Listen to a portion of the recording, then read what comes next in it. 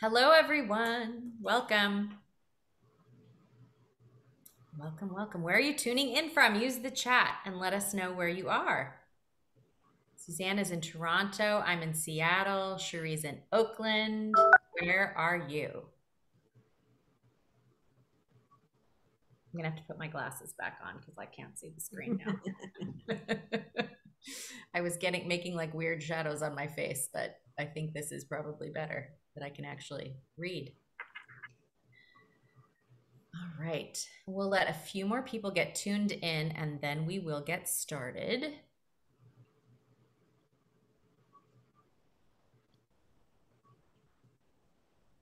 All right.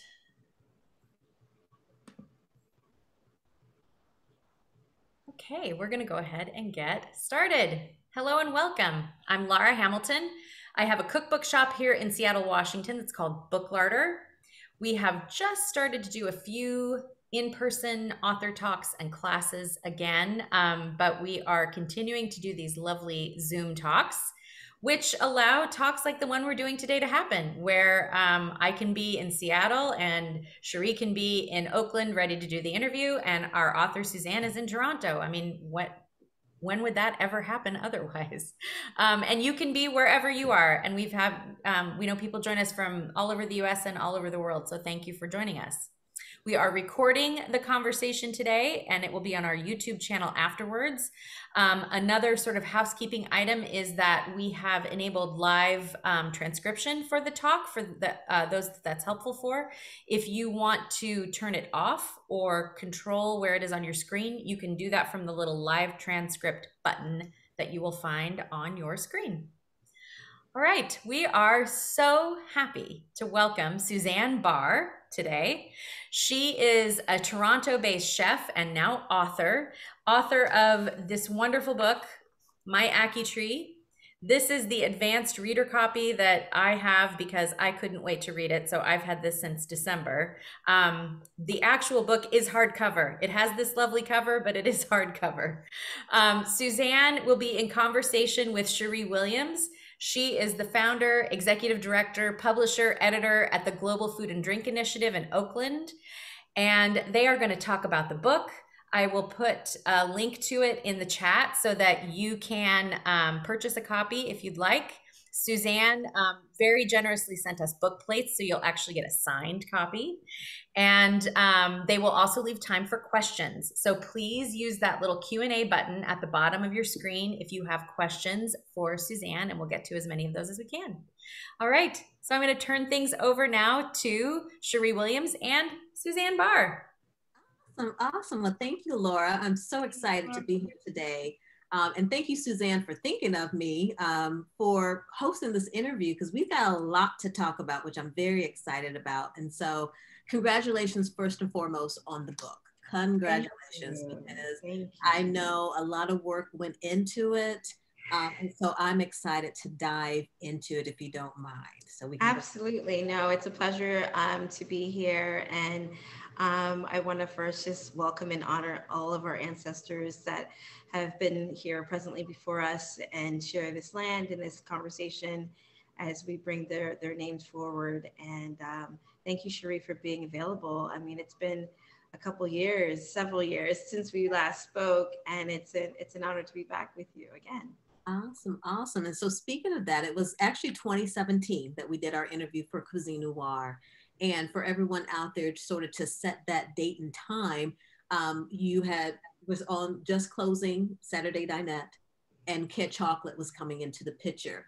But what I like about the book that I did not know that if you if anyone knows your work from those restaurants, this book takes a deeper dive into your life. And it's like, whoa, it is definitely a page turner um, because you learn so many things about you that obviously you wouldn't know from just ordering your food and things like that.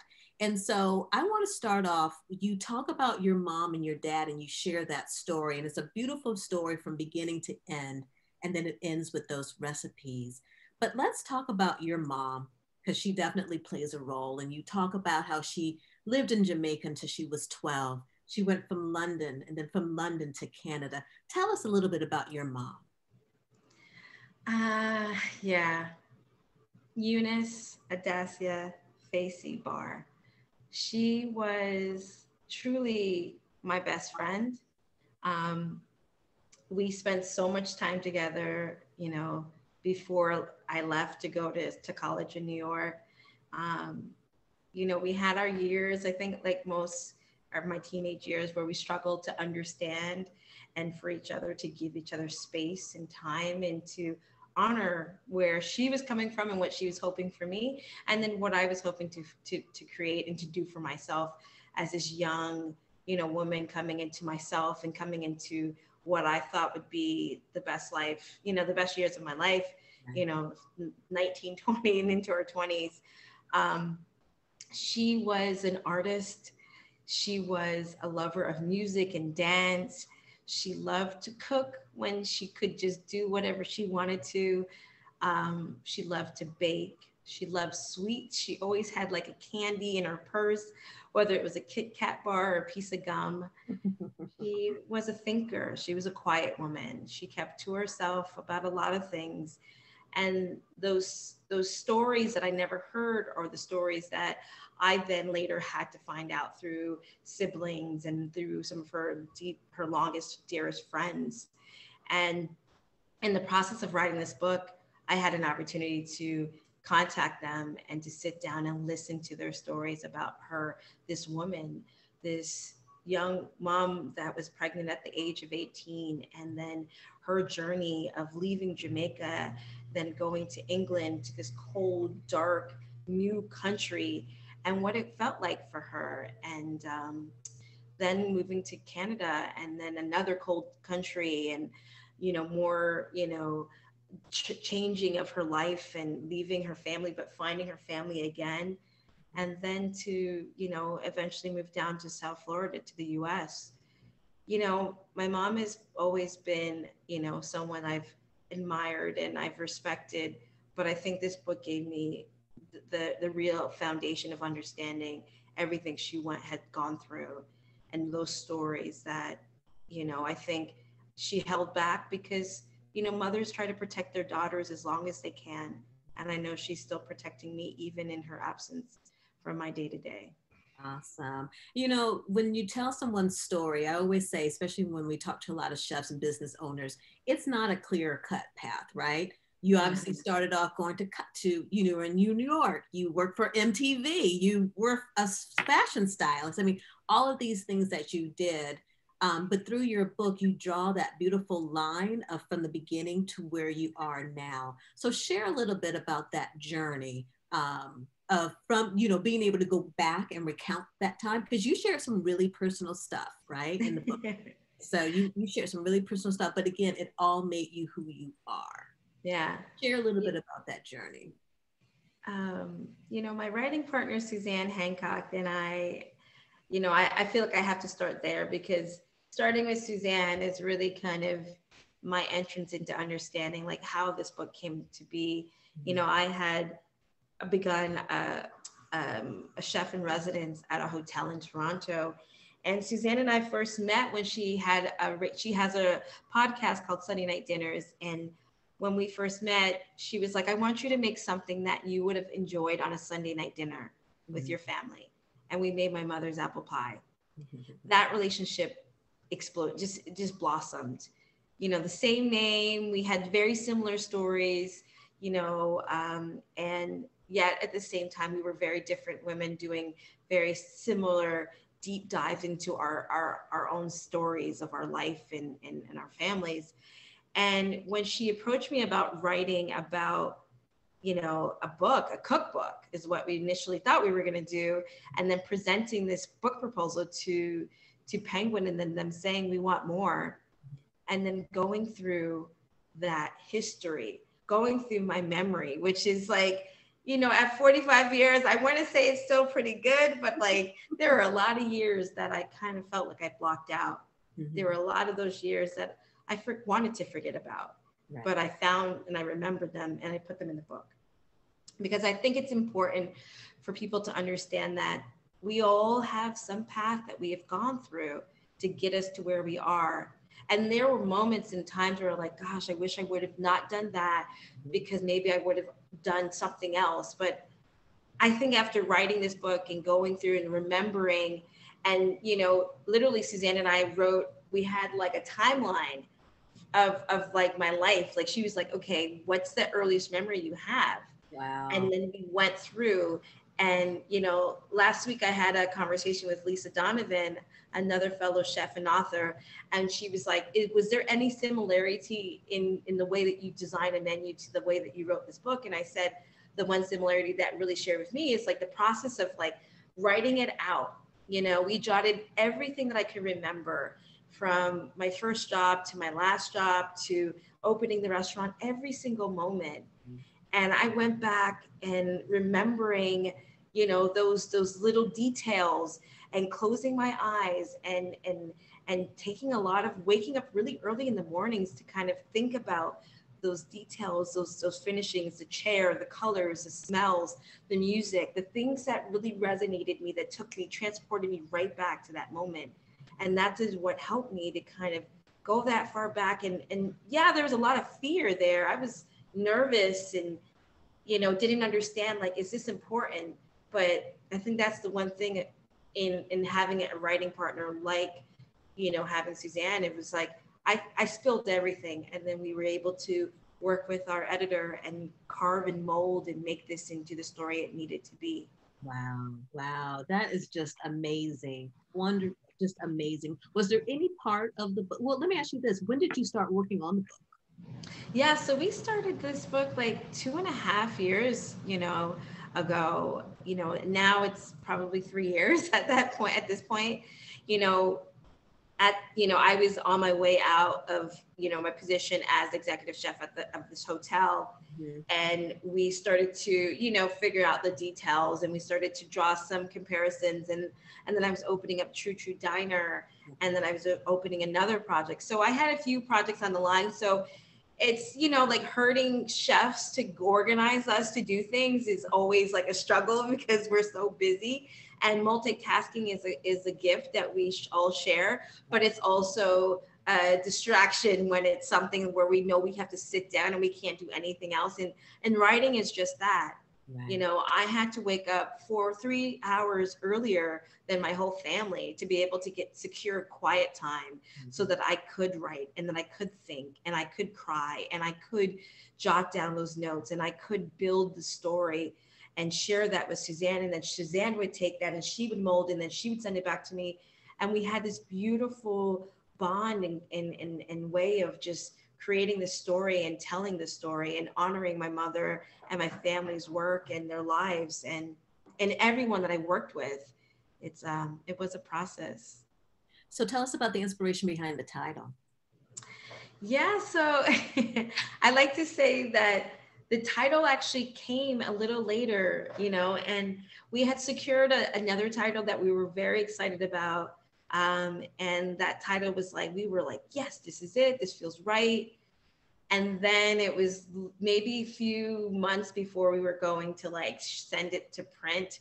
And we got some feedback from the marketing team at Penguin, and they were like, eh, we're not sure about this title. And we were kind of, you know, thrown in you know in in the grip of like what do we do now like we were so set on this title but you know it it showed me that the real title hadn't really been decided yet okay. and you know my ackee tree represents you know my family's honoring of our flag you know ackee and saltfish is the national dish from jamaica mm-hmm. out my front bedroom window in my house that i grew up in plantation florida is an ackee tree that my dad and my mother planted when we bought the land to build that house. Wow. That ackee tree still stands there. That ackee tree produces some of the most beautiful and delicious and amazing ackee year after year. I'm so grateful to be able to have, you know, honored you know the beginning of our family in that you know in that house with the title of this book because it feels like it just kind of landed where it was supposed to. You know, that first title felt so real. It felt so like, yes, but my Ackee tree is exactly what it, the name was, should have been and was always going to intended to be. So I'm grateful to get that to have gotten there. Well, we have we have someone that says, "Can you disclose what the original title was by any chance?" yeah, so the original title was called Homecoming, oh. and I called it. We called it Homecoming because just thinking about we going going back home to really feeling connected to the roots. And you know when i moved back to toronto after living in the us for so many years and then moving back to toronto and finding my you know my my love my restaurant having my son it was our homecoming. Right. saturday dinette was our homecoming and being back there. So for me it just like that was like yeah that's it. But um Ackee Tree relates on so many levels. I mean, we look at the titles of each chapter and we, we reson- the resonation of all of the proverbs and how the proverbs are part of, you know, my memories of my grandmother saying some of these to me and, and my aunties sharing with me like, you know, is she shine like Cheshire Cat and all these little terms and, and the endearment and the love and the culture that is so deep rooted and it's just it goes back so far um, as far as you know farther than i have ever even researched. And i'm i'm looking forward to continuing to explore and understand more about my heritage and my culture. But this is my first step in and i don't think i'm planning to stop anytime soon. And so speaking of that in the book you definitely touch on some points where culture food and language sort of came out, right? So some of the things I remember, you, I believe it was your mother that says, You're not Jamaican, you're Canadian, right? And then therefore, you know, we're not speaking patois at home, we're speaking English. And then noting in school of, you know, how you talked, right? Like a, a white girl, you know, so were you black enough, white enough? What was that like you know being a jamaican doing this identity? And then you also as you got older you you mentioned when you were doing a private chef gig and someone you were taking care of someone i believe from south africa and and he said you remind me of the maids our maids in south africa. Yeah. Tell me about childhood and then you're experiencing things as a black woman a black jamaican woman in your adulthood tell us a little bit about that. And again, that just shapes again who you are. And like you said, just honoring your culture. Yeah. You know, growing up being, you know, someone that could relate to the fact that I, in my house with my parents and my sister and my brother, we were Jamaican. I mean, from the good oil on the stove top to the provisions to, to, to the constant ackee coming in, bun and cheese constantly around, curry in the fridge, like those defining elements of our culture and our heritage and our food and the music and and the language was so defined. It was so in the house. It was so ingrained. It was a part of us. It was never a question of who and where our parents came from. We knew. But there was also this struggle with the fact that I was born in a, in a very different place than where we currently lived.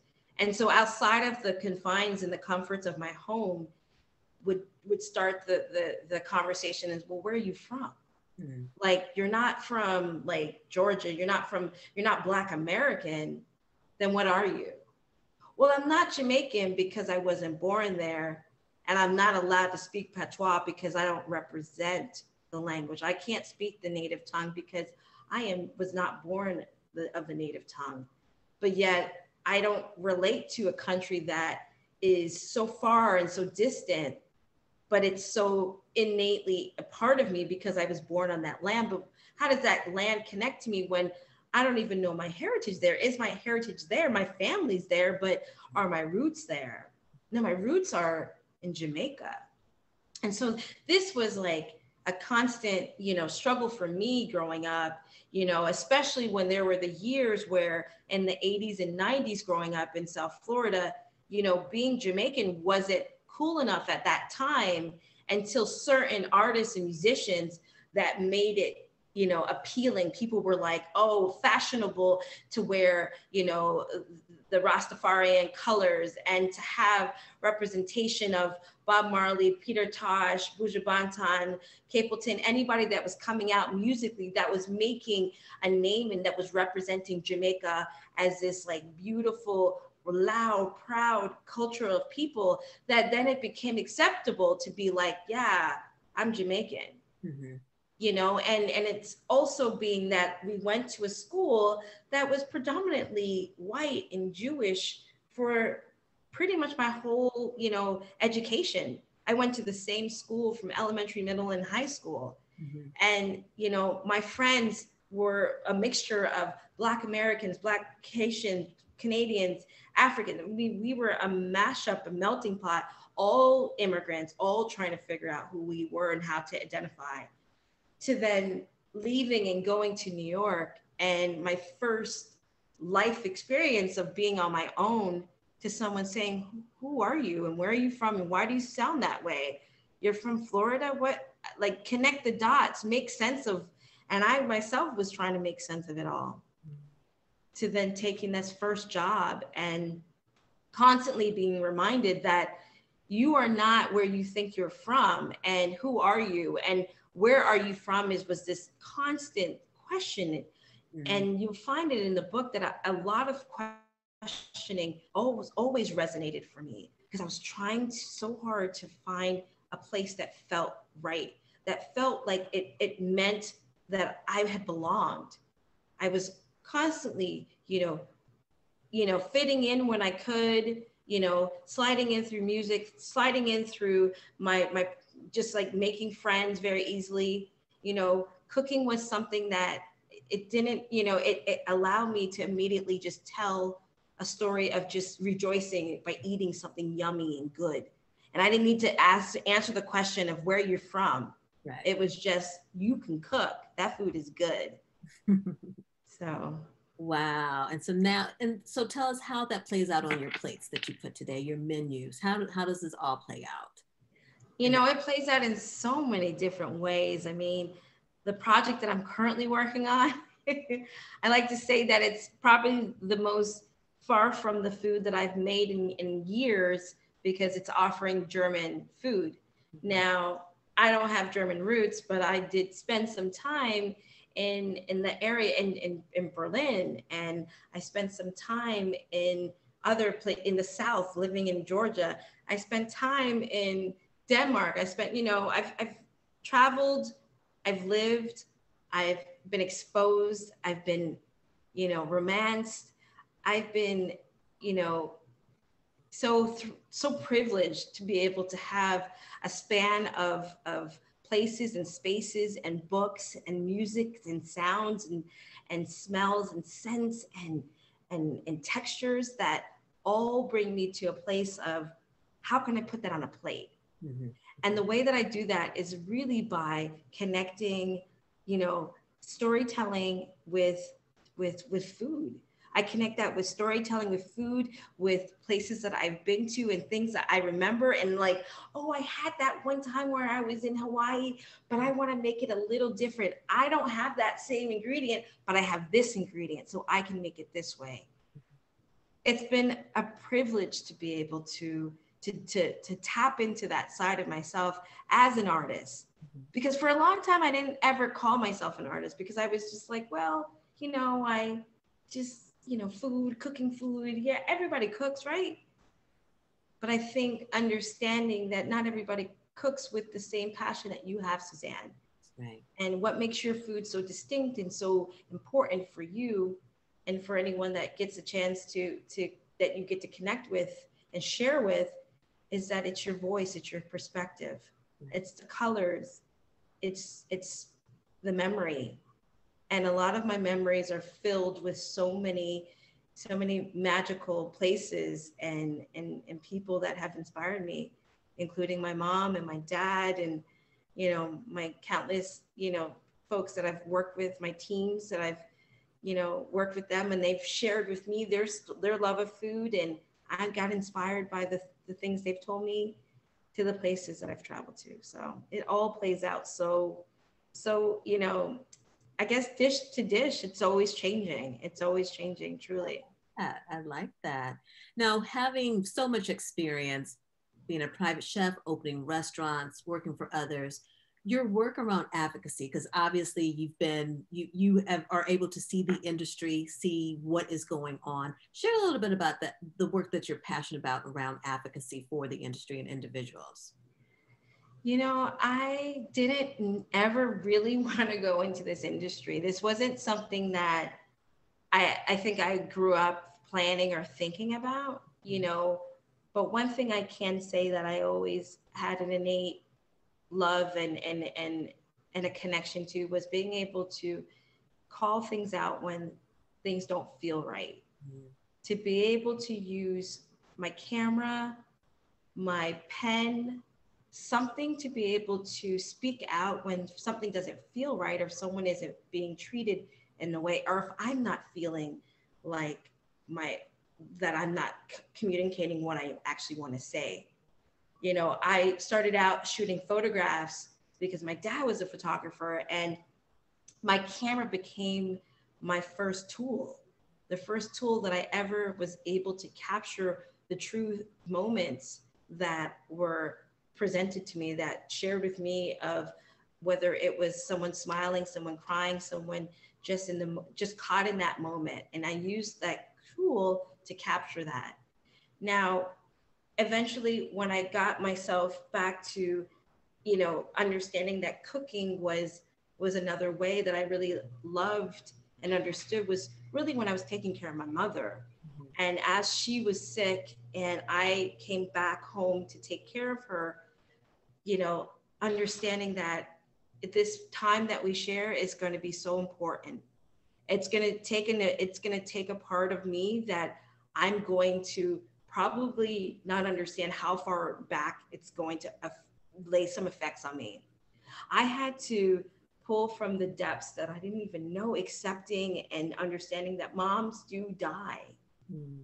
Mothers weren't aren't supposed to leave daughters. They're mm. supposed to be with us and show us and guide us you know, after she passed away, it was kind of like me recognizing that there was something more to what I was doing with my life.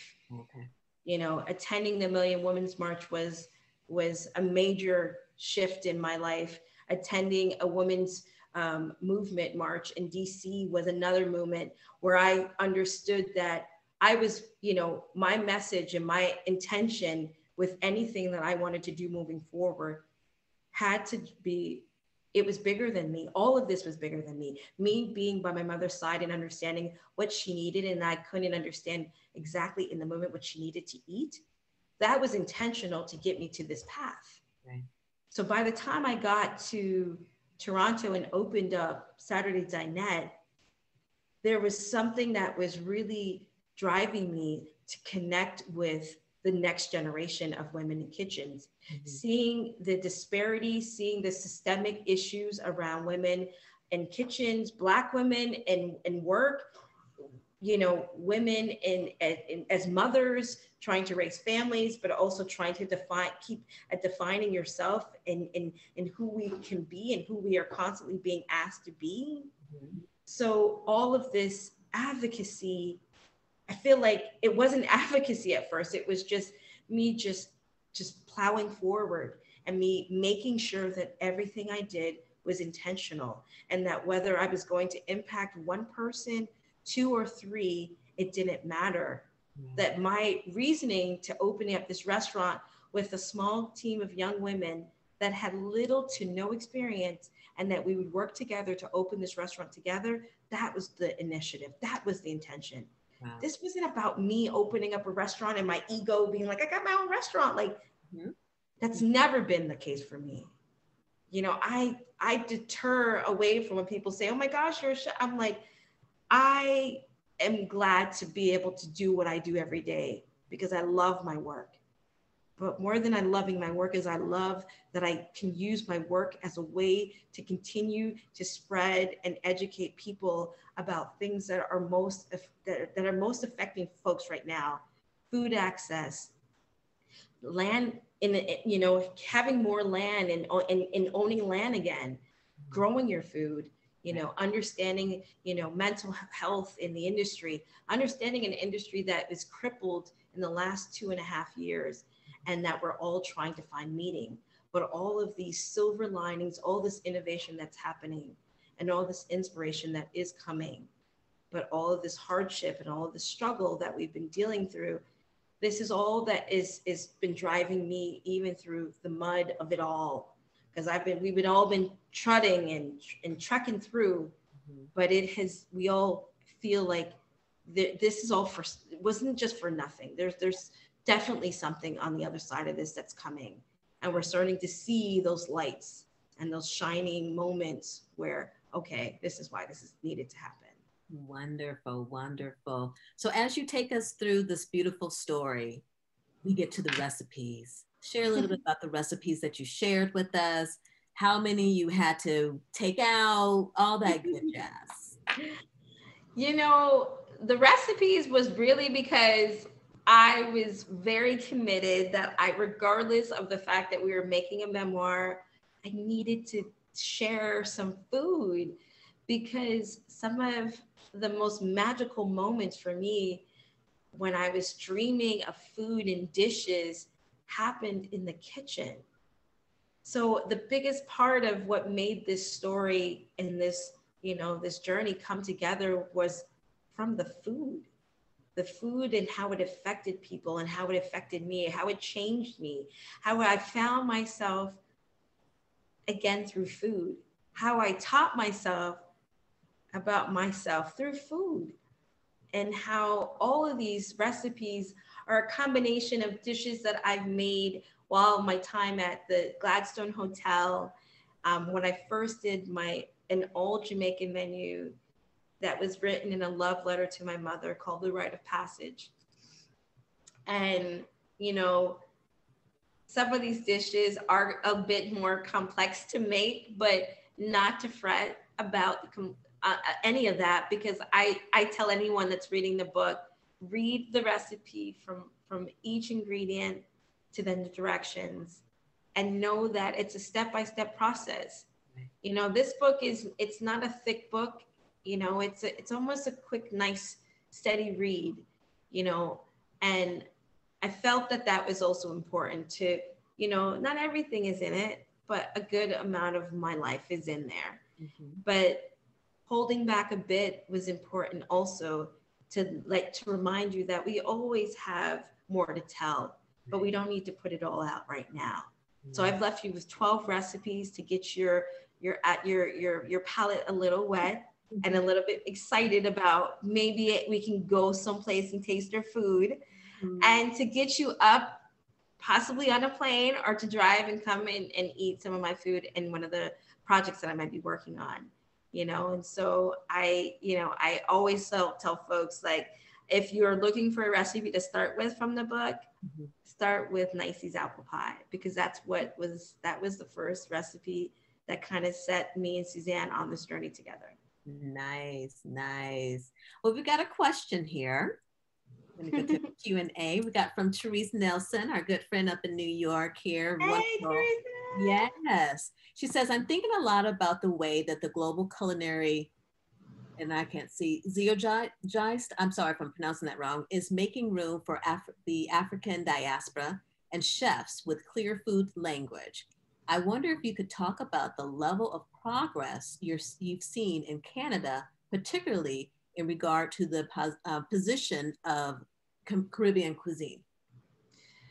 Uh, incredible question. And I think, I'm sure you and I were talking a little bit earlier about the fact that, you know, what, you know, being back in Canada after the last 10 years, and from when I started to, right, you know, being where I'm at right now, the scene has like exploded.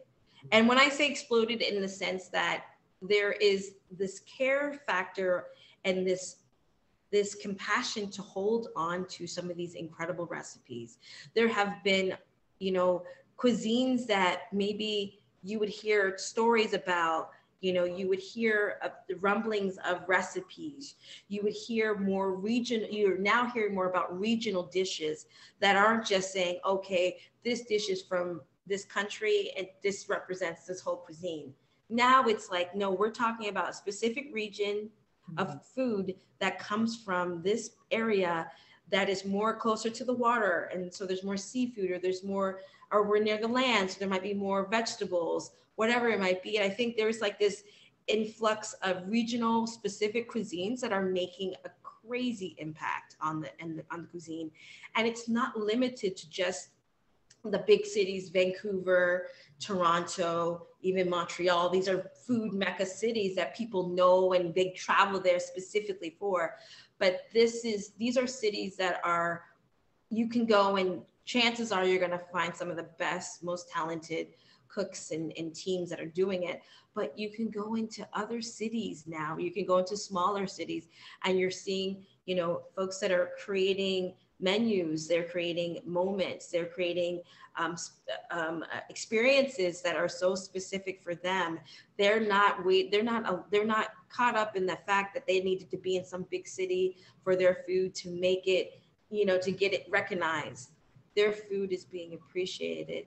You know, um, there is there's endless stories that have not been told within the African Caribbean diaspora and we can relate that to the story of the Commonwealth and how our, our movements have been nonstop. And we see now that the Commonwealth and is, is breaking down.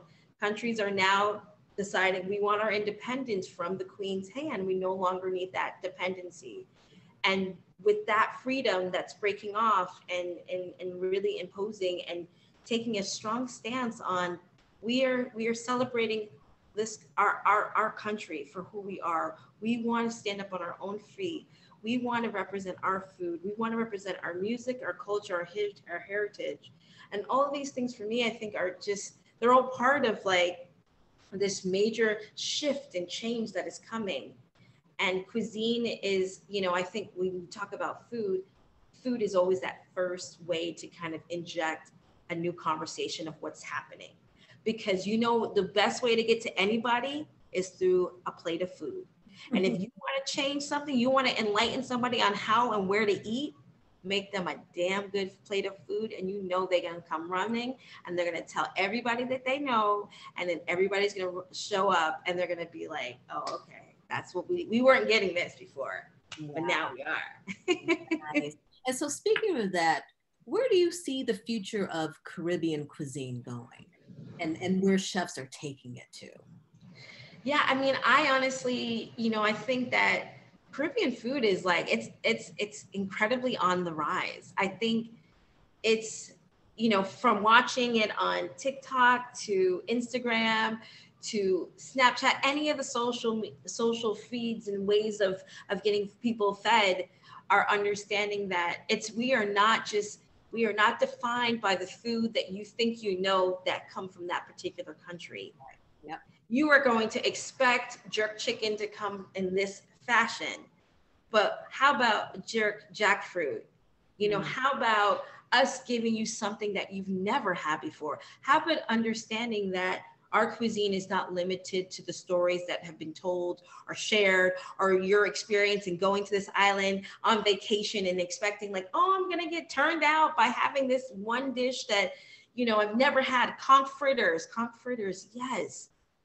But i think that this is a, this is a moment and there's so much more that's coming of like this influx of of caribbean culture that has not been talked about I think we're going to see way more countries that are going to be bumping up. It's going to be less about these food fads of like Northern Italian or um, uh, or any particular you know European based cuisine that people are constantly we're used to we know and we have these high expectations for i think people are going to be now seeing that caribbean islands that we may not have known of a particular dish that we've ever had before are now making it on these, you know, best recipes or best dishes you should be looking out for for 2022 or 2024 or 2027 like i think we're going to continue to see more dishes. I think we're going to also see the the flow of the continent of africa making its its, its impact in such a way that where we can say, yeah, we've been telling y'all that this food all comes from a beautiful place and that it's not just like based on one country. It's not just based on what you think you're going to eat. We have been influenced through because we bring have brought this influence of our food for generations and we will continue to do that. We are not limited to the bandwidth that you think you want to put us in these little easy pods of thinking that our food is this way. Right. Caribbean food has limitless, endless possibilities.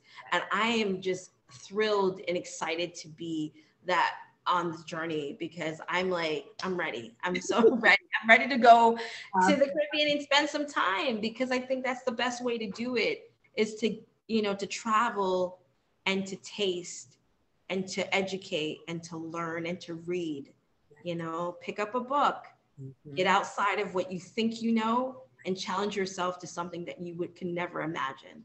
And you know, and just see that connection, especially between you, the Caribbean diaspora and the African diaspora, right? We were talking earlier about the story we recently did on a Ghanaian uh, producer of a hibiscus tea, drawing that connection from Africa, West Africa, and then but we know but we have known it from jamaica right and and but that story of how it traveled the other thing i was saying is you know i was speaking to a chef in kenya and i you know one of my favorite recipes to do is a stir fried cabbage but i got that recipe from a jamaican chef but here she is doing it in kenya exact same thing you know so it, it, there's so many similarities and then last year when i was in st thomas i took a cooking class uh, from a woman who's from guadeloupe and we were doing fritters, catfish fritters. Yeah. You know, so it's all connected once you see our history and where where we've come and, and the influence of, you know, coming from Africa and uh, yeah. landing in various parts of the diaspora where we are. So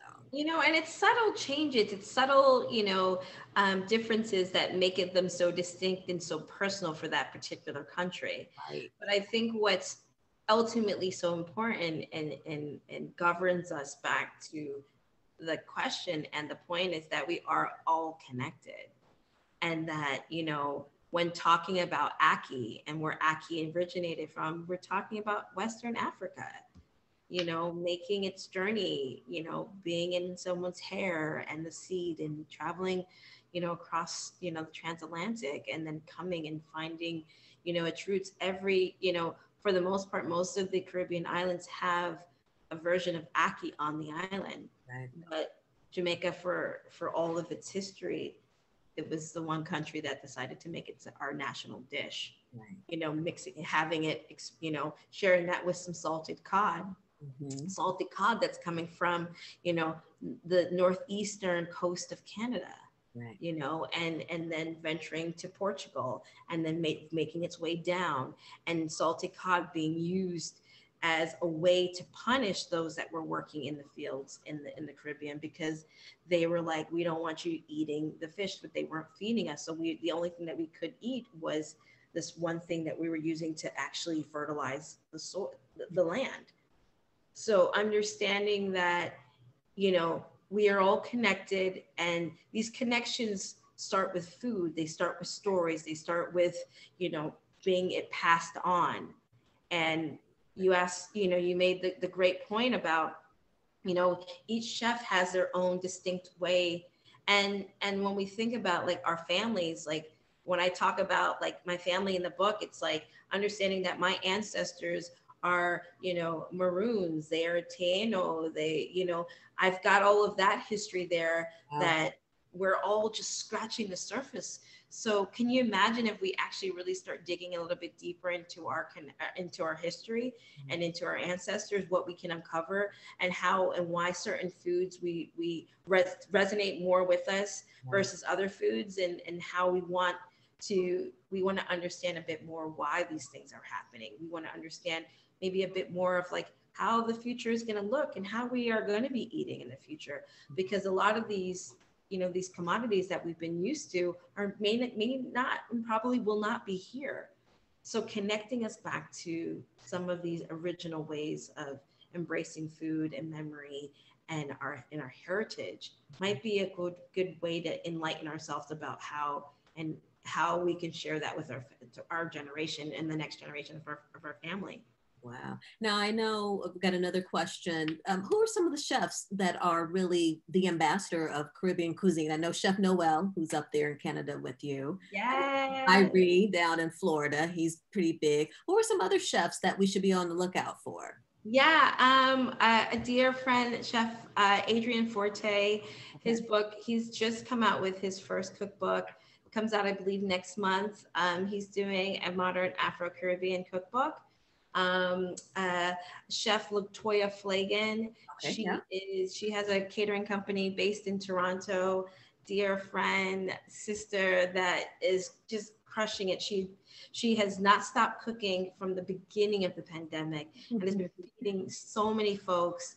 And if you get your hands on a plate of her food, you will understand why. Wow. You know, and I always give so much respect and love to to to the real jerk which is one of our, our you know, landmark restaurants that has one of the oldest restaurants, Jamaican restaurants in Toronto that's just been there for generations. And Lily and and and her and her family, they are able. They have a restaurant in Toronto. They have one uptown and the beaches, and then they have one in the UK. So you know, being able to see that that tradition, that family run restaurant that even through all of the the stories that she must have to share wow. that they still continue to keep us fed and full of, of, of good Jamaican food and memories. I think it's important to pay homage to those that have been doing it and having conversations with her about how, you know, it, you know, the products that she once couldn't get access to and now she can get them and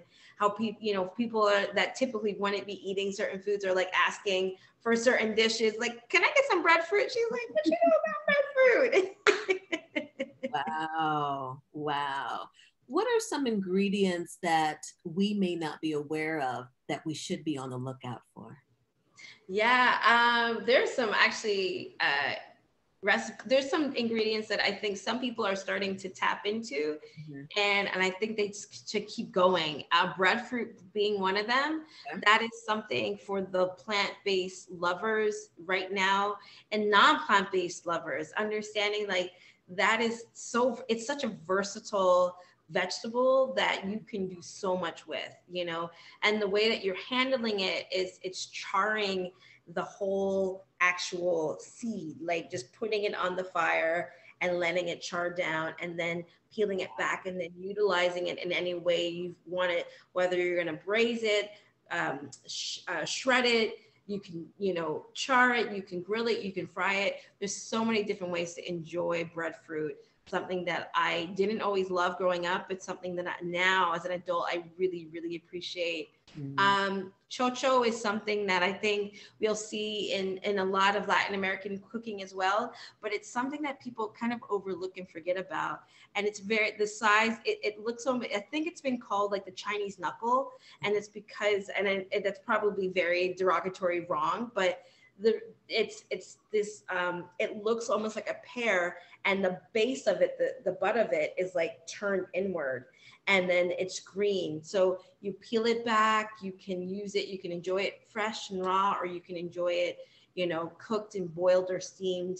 You know, the one thing about Caribbean food that I love so much is that we're constantly always incorporating vegetables in our diet. It's just, it's the root of, of how we eat. You know, meat just happens to be, whether it's goat or chicken or fish, happens to be these accompaniments but the base of our food and cuisine is really truly vegetables. Um, and Chef who's joining us, said, you know, that it is plant based. Yeah, our, our food is 100% plant based. And then you like, oh, maybe I'll add some chicken into it. Maybe I'll add some goat. Maybe I'll add some, you know, cow foot, you know, whatever that might be. But at the end of the day, it is plant based and so much that has to do with what's coming off that island what's being grown on the island what we can get access to um, what's happening on the island what's happening around the country what's happening around you know surrounding islands but i think just you know tr- just exploring your grocery store now which is a blessing that we're seeing that more people are we, ha- we have some grocery stores are giving us more access to more uh, fruits and vegetables that you may have never heard of. Mm-hmm. And I always tell folks, pick up something new. Go on an adventure. Mm-hmm. Look up the fruit or veg and give yourself a try. You know, like sometimes, you know, that's the best way to learn about how to cook something is to just to try it. Yep. You know, don't turn your nose up to it because you never know. You actually might really, really enjoy it. Eddoes is another one, you know, a starchy, rooty root vegetable that I love to use. You know, replacing out your potatoes with some root vegetables for French fries, for mashes, and things of that sort. Sort, you know, kabocha squash is something that I love, and I constantly roasting it, pureeing it. I make a hummus from it. There's so many different ways to embrace and enjoy the many vegetables that are coming from the Caribbean. So I challenge all of you that are with us today and later on to just have a great journey with it. Wow. So I've got a couple of fun questions as we get ready to wrap up. Name three ingredients that are always in your kitchen. I'm in my kitchen right now. uh, okay, this is actually really good. Uh, Scotch bonnet, okay. ginger, and in my um, is my freezer also yeah it's my um in my freezer i have green banana okay all right those are good i can dig those i can dig yeah that. i can make a soup i can make fritters i can make a mash i can you know i can make a hot sauce but those are those are my three must in my in my house in my fridge okay. uh, who is one person that you have yet to cook for that you would like to well, someone that I was really hoping to get this book to, and we're going to make sure we get this book to, is Michelle Obama. Okay. Okay. Yeah, like I very much so would like to cook for for the family. Um, you know, I've, I've had a chance to cook yeah putting it out there. I've had a chance to cook for some you know for celebrities and you know it's not something that i you know ever chased or, or felt inclined to continue. When i was a private chef it was a time in my life where that work was happening and i was very grateful for it but that's something that i was like okay that that was great in my life but now intentionally for to cook for people um actually yeah so yeah, Michelle Obama has been on, on my list for some time, and and uh, yeah, I would love to just take her on a food journey and give her some flavors, maybe give her a little extra heat and see how she responds to it. and I don't know if she, I haven't read if she likes heat or not, so I'm not sure where she lands on that spectrum of heat. So yeah, I don't know how she lands with heat, but I know she she is appreciation and understanding and love of food, mm-hmm. and you know making sure that balanced diet and, and wellness is such a big part of our experience around eating. So I think she would totally dig any of the the events that we do and you know something that we can say um, that we had the opportunity to do with her. Awesome. So we've got the book out. What's next? What are you working on as well? um, honestly, there's a lot of little things that are that are happening, but I think the one thing I'm really excited about continuing to do is to be uh, Miles's mom. You know, like after closing my last project, True True Diner, I had li- not a lot of time with him. You know, like the beginning years of of Miles's birth, we had Saturday dinette, and as I tell in the book, like he was like always with someone else. And that was hard for me, you know, as a mom, because I felt like a part of my earliest memories of being a mom and being pregnant was like a lot of work and it was hard work. So being able to be home now with him, to make dinner, to take him to soccer and whatever else he's doing, that's something that I'm really cherishing. Um, but I am dipping my toes back into, you know, the idea of what it means to have a, a restaurant, but more as a consulting. So, as I said, I'm working on a project in Miami for a client of mine. Um, it's a restaurant down here. Um, I will not be in the kitchen cooking regularly, but I will be consulting on the menu and, you know, just building out a very um, sustainable uh, restaurant concept that I, am really proud and excited about. And we'll, you know, hoping to have that out to the city of Miami before the end of the year.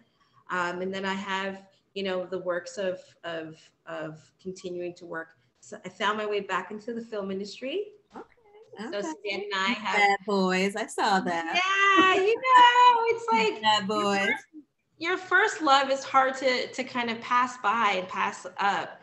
You know, my first love of film was was something that that really I, I always saw for myself. So now a little bit more TV opportunities are, are coming my way and also developing some TV concepts. I still think there is this untapped market of conversations, more conversations about food, folks of color, um, in kitchens, out of kitchens, not just kitchens, because I think we're transcending the idea that, you know, being a chef is not limited to just being in the kitchen cooking. I think we are transcending by, you know, defining what that needs to be a food, you know, anthropologist, you know, anthropologist, you know, a food, you know, um, a, a historian, and understanding that there's way more conversations about that we can have with food where I'm not just cooking you, kicking a plate of food and then serving it up to you.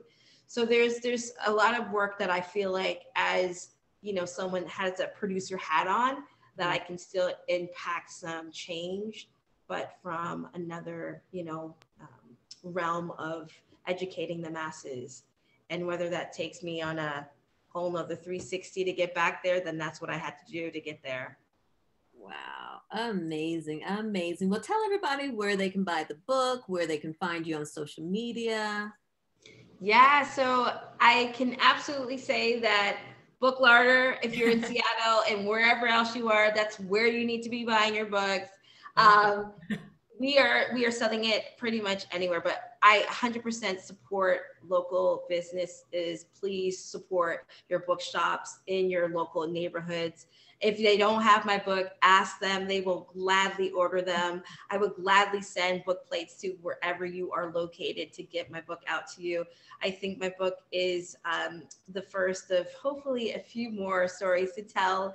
And you know, it's it's um, a pleasure to be here with y'all. You know, my social handle, whether it's on Instagram or uh, Twitter, is Suzanne Barr Food.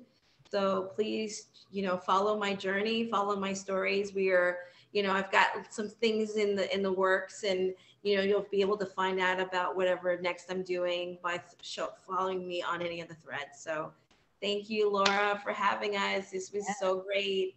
Oh, it was my pleasure. For, for it was my pleasure. Such a lovely conversation. Thank you so much, Sheree for your insightful questions. And thank you, audience, for all of your lovely questions as well. The, the chat was, you know, all full of support. she talked. It was it was great. Um, I wanted to ask you one quick question. Did you take photos in the book that are in the book?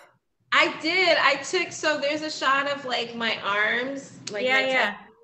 that I took. And then um, I think there's one more in there that I took, but a lot of them were like my my dad's photos, yeah, my uncles, some photographer from England that shot my mom when she was like wow. 19 to like uh, um, um, my dear friend Sam Engelking, who is a talented photographer based in Toronto. He shot all of the food food for food mm-hmm. shots and yeah, it's it was such a, a, a love of bringing these images together, especially for me being a photographer you know, loving photos, it was hard to pick the, the best ones that really represented in the book. So I think we did all right. Oh yeah, especially I love it when um, I mean you mentioned you know you you sort of see your work as art, and I think this book definitely reflects that because it's the story told in such a creative style, the photos, the food, it's just it's really delightful. So thank you so much. Thank you. Can't wait you to know, hear more of your story and watch it unfold. So Thank you. Thank you. Thank you. You know, it's um, like I said, you know, I think that this is this is definitely a, a, an interesting time for for anyone that's telling their story. And, and as a as a black woman, you know, I feel honored to be able to just be one storyteller of the many that are that are telling their stories through writing, through food, through art, through dance, through whichever way that you're able to communicate and convey your mission and your story. So I am just honored to follow in the footsteps of the many that are doing this this good, honorable work, and and for those that will be able to pick this up and and remember and and to read and to to learn a bit more. Yeah. Well, we're very grateful that you've chosen to share it with us. So thank you very much. Thank you. All right. Thank you everyone for tuning in. Like I said, we recorded this, so it'll be on YouTube. Um, I should be able to get it up tomorrow, so um, before the end of the day tomorrow, and we'll share it on socials everywhere. Um, stay safe and healthy, everyone. Suzanne, good luck with everything. Sheree, thank you again. Yeah. And um, have a lovely evening. Stay safe and healthy, everyone. Thank you. Thank you, everyone.